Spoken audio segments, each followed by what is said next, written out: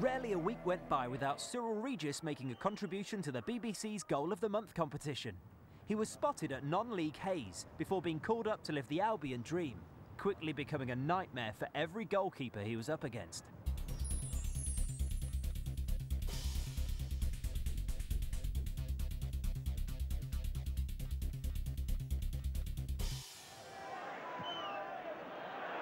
And here's Regis.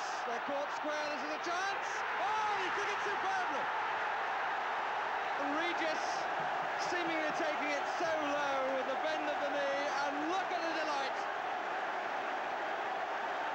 Cyrille Regis, the youngster spotted by Ronnie Allen, has come from semi-professional football at Hayes to really blast his way into the scene at the top. Ronnie Allen was a chief scout at the time, and uh, apparently he came down. He must have heard about me playing down at Hayes. He tells a story that uh, he came down, watched me play.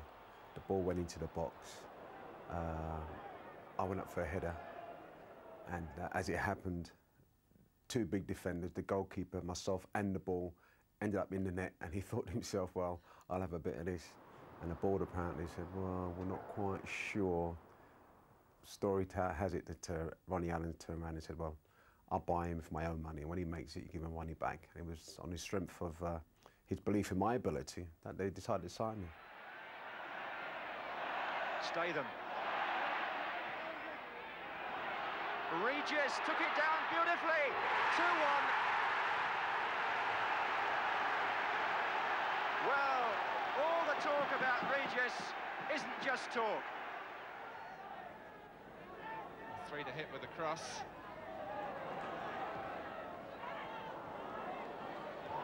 Back for Regis, and was it deflected? But it's in. Cyrille Regis' shot. Robertson. It's Harris's header. It only comes to Regis. Oh, it's a chance for Regis here, and he's made it!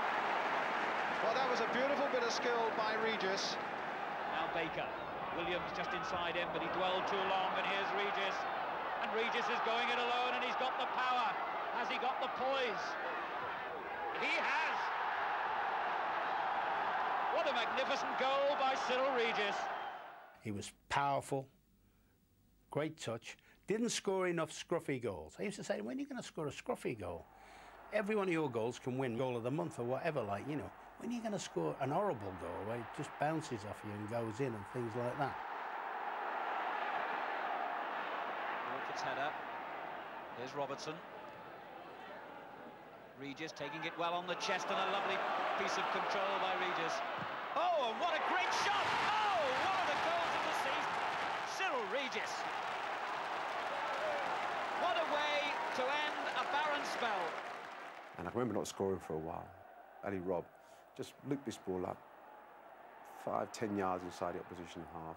I controlled it, rolled it round in once, went past one or two players, Martin O'Neill and Stephen Walford. Took it for about 10, 15 yards and just thought I'll have a go. I had a great strike on it and it went at top left-hand corner past Chris Woods and uh, he won a goal season, so I was well proud of it. That was Nicky Cross to Zondervan, who started it all off. And he's got Regis going through for Albion. What a fine save by Spink. And Regis has got the ball back. And he scored! Amazing!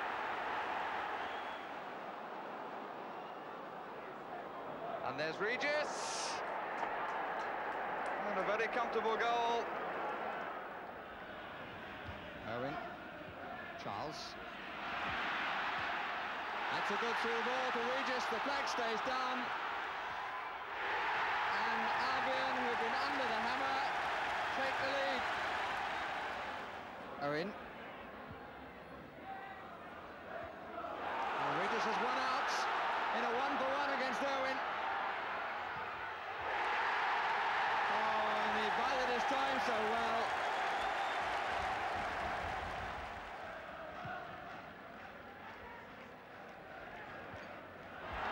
Regis again. And a hat trick for him. Five years of great times. Your early years as a footballer are formative years.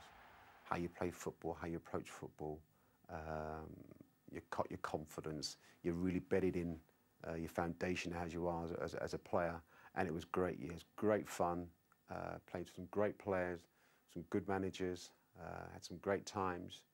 But uh, little sadness that we didn't manage to uh, win anything, and I think that would have been the ice on the cake. Cunningham letting the ball beat Houston, and he's away again to show that pace and grace and control. Just a nicely weighted little pass for Ali Brown, who's turned inside Brian Greenhoff. On for Regis,